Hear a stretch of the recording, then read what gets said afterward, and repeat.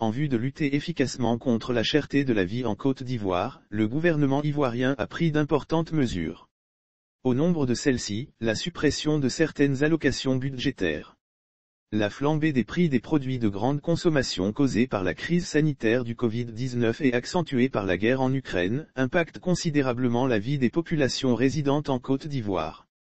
Alléger les souffrances des populations La cherté de la vie ne laisse pas indifférent le gouvernement ivoirien qui multiplie les initiatives en vue d'alléger les souffrances des populations de Côte d'Ivoire l'État ivoirien a consenti une subvention de 120 milliards FCFA entre janvier et avril 2022 à cet effet. L'État ivoirien a consenti une subvention de 120 milliards FCFA entre janvier et avril 2022, le plafonnement des prix de 21 produits de grande consommation, l'équipement de coopératives productrices de vivriers et la réactivation des comités locaux de lutte contre la vie chère.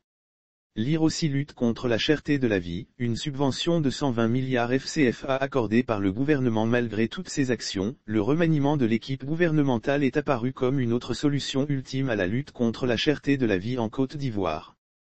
Réduction des dépenses de l'État Le chef de l'État, le président Alassane Ouattara, dans une adresse le 13 avril 2022, soulignait que, en vue de renforcer l'efficacité de l'action du gouvernement et pour tenir compte de la conjoncture économique mondiale actuelle, j'ai décidé de la réduction du nombre de ministres du gouvernement, il est impératif de réduire les dépenses de l'État tout en les réorientant vers la résilience sociale et sécuritaire.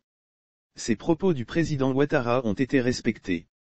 Désormais, ces choses faites, ce sont en tout 11 ministres qui ont été sortis du gouvernement ivoirien.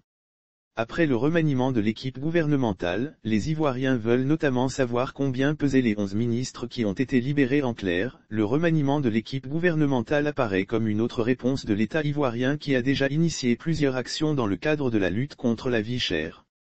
Lire aussi remaniement ministériel, des ministres tombent des nues, Gbagbo charge, Ouattara prépare son grand oral La réduction du train de vie de l'État est donc un autre effort consenti par le gouvernement. Cette mesure apparaît comme un signal fort envoyé aux populations ivoiriennes sur la volonté manifeste du gouvernement d'assurer un mieux-être et un bien-être aux populations de Côte d'Ivoire. Cependant, après le remaniement de l'équipe gouvernementale, les Ivoiriens continuent de se poser plusieurs questions. Ces derniers veulent notamment savoir combien pesaient les 11 ministres qui ont été libérés. Et comment la redistribution des ressources qui seront récupérées au niveau de ces postes ministériels va-t-elle se faire? Les regards sont donc tournés vers le palais présidentiel.